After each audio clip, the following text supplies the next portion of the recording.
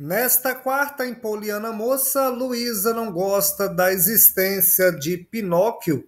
Antônio fala para Luísa que o Pinóquio é simpático e ele deixa a casa mais alegre.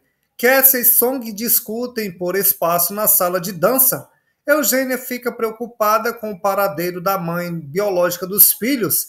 Tânia encontra com Celeste na rua e diz que ficou preocupada com a relação delas. Celeste faz Tânia prometer não mentir nunca mais.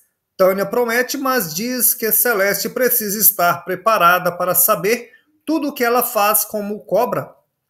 Otto conta para Luísa que ele e Poliana irão voltar para a mansão. Luísa fica triste. Pedro convida Iuna para ir ao baile. Ela sai correndo.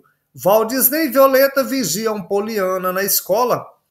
Tânia ajuda o CLL com uma doação de um valor muito alto. Eugênio e Gleice agradecem, mas Dona Branca diz que é dinheiro sujo.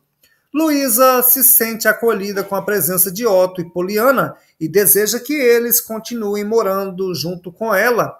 Pedro questiona Iuna o motivo dela fugir quando ele a convidou. Ela diz que ficou com vergonha, mas aceita o convite.